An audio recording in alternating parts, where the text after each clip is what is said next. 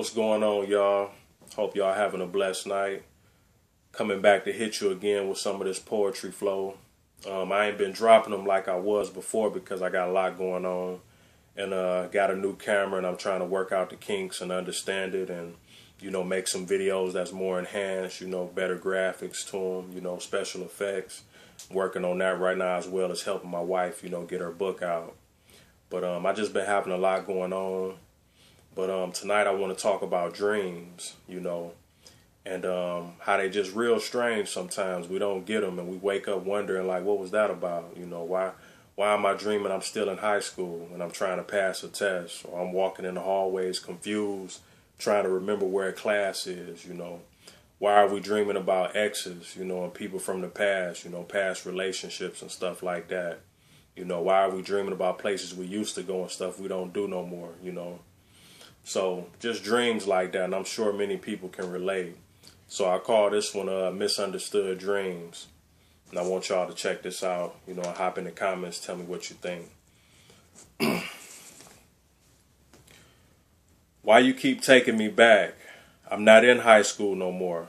I'm not buying loosies and Blacks from the store. Is my spirit still wounded and sore? Dreams of exes showing up at my door? At my lowest point, sleeping on the floor. What are these dreams for? Is it memory or enemy? I'm not sure. Some dreams are good and reflect good times and memories in the hood. Other dreams are misunderstood, and I wish to understand some if I could. I wonder about times I didn't do as I should. A reenactment of bad habits, hard headed like wood.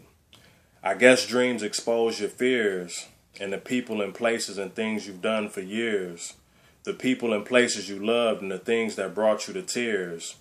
Though you grew and switched gears, the dreams remember your peers. The touch, sight, and sound in your ears, because a memory never disappears. Dreams make us retake tests. I question times in life where I didn't do my best. What must I complete to give my spirit peace and rest?